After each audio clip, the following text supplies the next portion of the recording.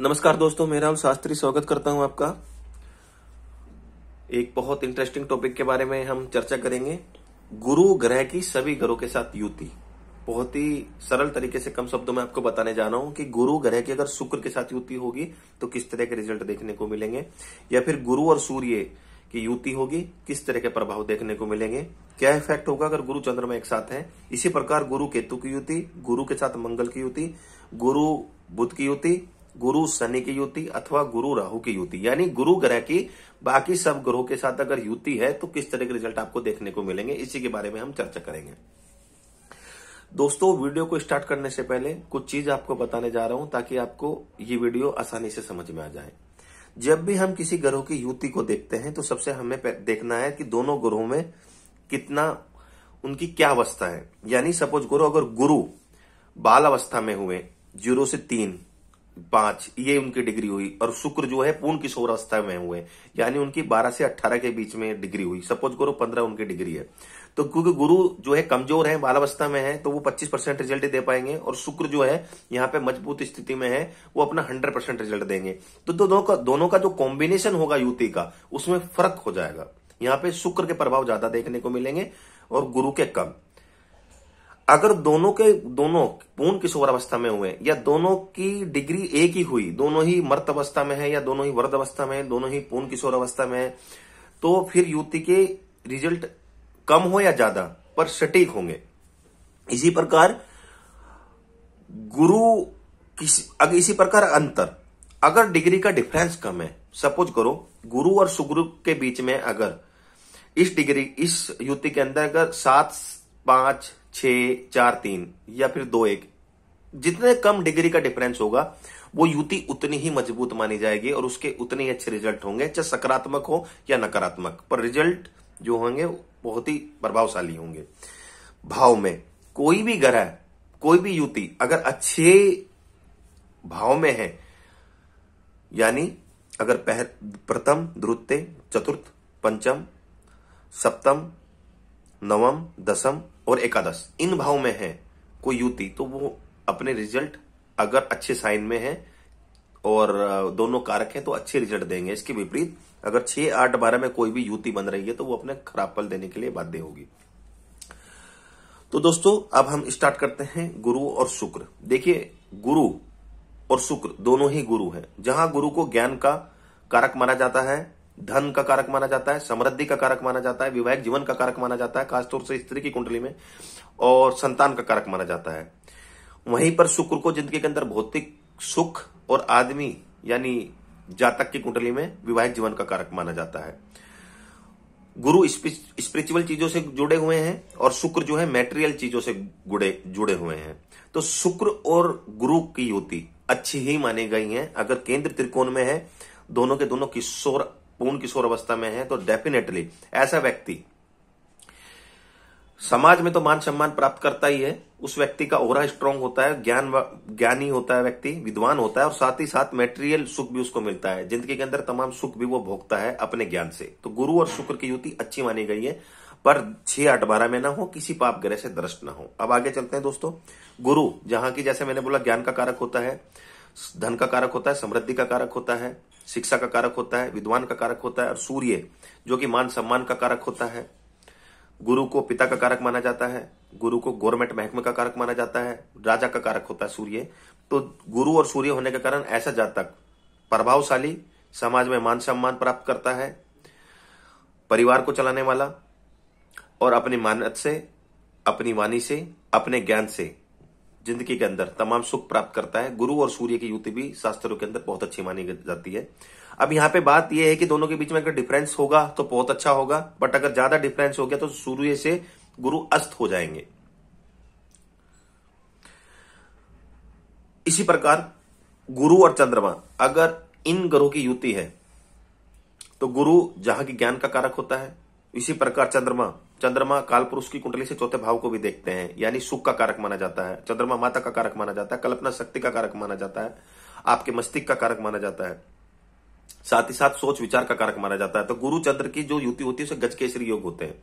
गज केसरी योग एक ऊंच कोटि का योग होता है। ऐसा व्यक्ति साफ़ छवि का साफ़ दिल का और ज्ञानी, विद्वान जिस क्षेत्र में भी एक गुरु चंद्रमा की युति होगी, अब जहाँ पे दृष्टि देंगी, उससे रिलेटेड जातक को बहुत फ़ायदा होगा। जैसे चौथे भाव में अगर गुरु चंद्रमा की युति है तो ऐसा व्यक्ति ज़िंदगी के अंदर हर चीज़ की उसे प्राप्ति होती है।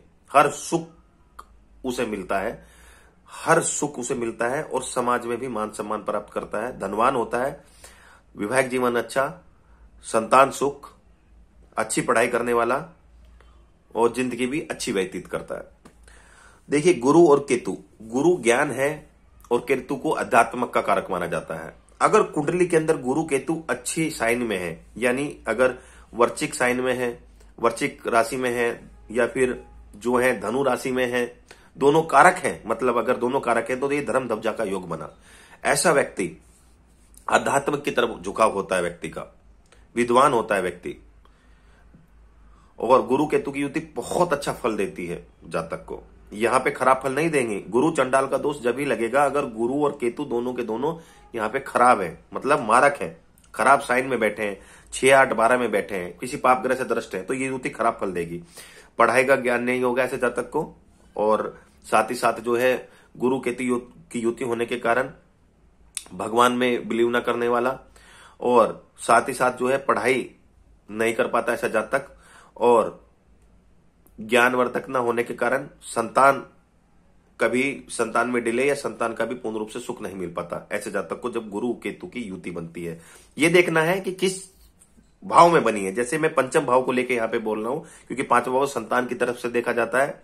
और साथ ही साथ शिक्षा की तरफ़ से देखा जाता है। तो अगर गुरु केतु यहाँ पे खराब है तो संतान में लेके चिंता होगी और साथ ही साथ संतान के साथ साथ जातक को पढ़ाई में भी दिक्कत आएगी। इसी के विपरीत अगर गुरु केतु बहुत अच्छे हैं और किसी भी भाव से संबंध बना रहे हैं तो जातक को संतान के बाद भाग्य उदय होगा और अच्छी पढ़ाई करने वाला होगा, ज्ञानवान होगा, जातक समाज में भी मान सम्मान प्राप्त करने वाला होगा। तो यह भी देखा जाता है कि किस भाव में कोई युति बन रही है। गुरु और मंगल गुरु आपके ज्ञान का कारक है, मंगल आपका फ़िज़िकल पराक्रम का कारक है, आपकी मेहनत का कारक है, साहस का कारक है। तो जब गुरु और मंगल की युति बनती है और दोनों अगर केंद्र त्रिकोण में हो, अच्छे साइन में हो तो ऐसा व्यक्ति मेहनती भी होता है और ज्ञानी भी होता है। तो गुरु मंगल की युति होने के कारण टेक्निकल फ़ील्ड में ऐसे जातक को बहुत ऊंचाइयों पर देखा गया है। भूमिवान भी होता है व्यक्ति भूमिवान भी होता है। और जिस क्षेत्र में भी मेहनत करता है, उसमें ही उसे तरक्की मिलती है। गुरु और बुद्ध की युति। गुरु ज्ञान और बुद्ध बुद्धि। बुद्ध जो होता है, आपकी बुद्धि का कारक होता है, वाणी का कारक होता है, साथ ही साथ व्यापार का कारक होता है। तो गुरु और बुद्ध, ज्ञान और बुद्धि, अगर ये युति कारक केंद्र त्रिकोण में है, यानी पहले चौथे, सातवें, दसवें, पाँचवें और नौवें भाव में ये युति बन रही है तो आप ये समझ लीजिए, इसके आपको बहुत अच्छे रिज़ल्ट देखने को मिलेंगे। क्योंकि ऐसा व्यक्ति की पढ़ाई बहुत अच्छी होती है, और बुद्धि बहुत तेज होती है, और ज्ञानवान होता है जातक अपनी बुद्धि से और अपने ज्ञान से, अपने भाग्य उदय करने वाला होता है। जातक को ज़िंदगी के अंदर तमाम सुख प्राप्त होता है। पर यह युति छह, आठ, बारह में ना हो और पाप ग्रह से दृष्ट ना हो। गुरु शनि, गुरु ज्ञान का कारक, शनि न्याय का कारक। तो ऐसे जातक जो गुरु शनि की अगर युति होती है यह भी अच्छा ही माना जाता है। एक व्यक्ति अच्छे कर्म करने वाला होता है। समाज में ऐसे व्यक्ति को बहुत अच्छा माना जाता है। विद्वान होता है जातक, और गुरु शनि की युति होने के कारण ऐसे जातकों को न्याय के क्षेत्र में, जैसे वकील, जज, न्याय के क्षेत्र में ऐसे जातक को बहुत आगे देखा गया है। अगर ये केंद्र त्रिकोण में युति बन रही है तो इसके प्रभाव भी आपको अच्छे देखने को ही मिलेंगे। गुरु राहु, ये गुरु चंडाल योग होता है और गुरु और राहु की युति राहु भ्रम का कारक माना जाता है। तो यहाँ पे देखा जाता है, कुछ दिखाने वाला जातक। या आपने ज्ञान को ज़्यादा दिखाना। सब, एक व्यक्ति आपने देखा होगा जो हमेशा अपने आप को बहुत ज़्यादा दिखाने की कोशिश करेगा, क्योंकि राहु जो है भ्रम का कारक होता है और एक्साइटमेंट का कारक होता है। तो गुरु ज्ञान का कारक है। तो अपने ज्ञान को बिना मतलब दिखाना, या कम ज्ञानी भी हो, अपने आप को बहुत ज़्यादा समाज के सामने दिखाना। और जैसा दिखता है, वैसा होता नहीं। कभी कभी इसके खराब रिज़ल्ट भी मिलते हैं, और गुरु राहु की युति होने के कारण कहीं ना कहीं जातक को इस गुरु में राहु का अंतर हो, या राहु में गुरु का अंतर हो, परेशानियों का भी सामना करना पड़ता है।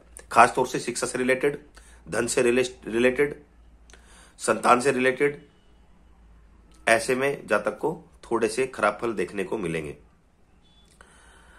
हालाँकि अगर दोनों की